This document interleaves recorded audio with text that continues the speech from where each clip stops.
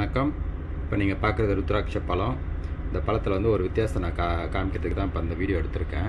இப்போ நீங்கள் பார்த்தீங்கன்னா இந்த ருத்ராட்சியில் வந்து காம்பு இருக்குது பார்த்தீங்களா இந்த காம்பு. நிறையா பேர் நீங்கள் வாங்கும்போது ஒரு சில இடத்துல வந்து இந்த காம்போட சேர்த்து ருத்ராட்ச வந்து விற்பாங்க ஓகேவா? அதை பார்த்து ஏமாறாதீங்க.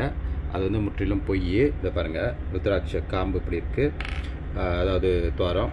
இதில் பார்த்தீங்கன்னா அதை பாருங்கள் காம்பு. ஒரு செகண்டில் வந்து இப்படி உடஞ்சி வந்துடும் அது வந்து ருத்ராட்சோட ஒட்டி இருக்காது. பழத்தோட மேலால் தான் இருக்கும். ஸோ இது வந்து நீங்கள் பார்த்து ஏமாறாதீங்க. இதை பார்த்து தெரிஞ்சுங்க இந்த வீடியோ ஸோ எல்லாமே அப்படி தான் இது வந்து ஒட்டி இருக்காது. சும்மா மேலால் இருக்கும். பழத்தோட தான் இருக்கும். ருத்ராட்ச கொட்டையோடு இருக்காது. ஸோ இதன் மேலே அப்படி நவுத்தணுமா? இது வெளியே வந்துடும் சரிங்களா? ஸோ ரொம்ப பேர் வந்து நீங்கள் காம்போடு விற்பாங்க. ஸோ அப்படி காம்போடு விற்கும்போது கண்டிப்பாக அது பொய் அதில் உண்மை கிடையாது. ஸோ இதில் பார்த்து தெரிஞ்சுங்க.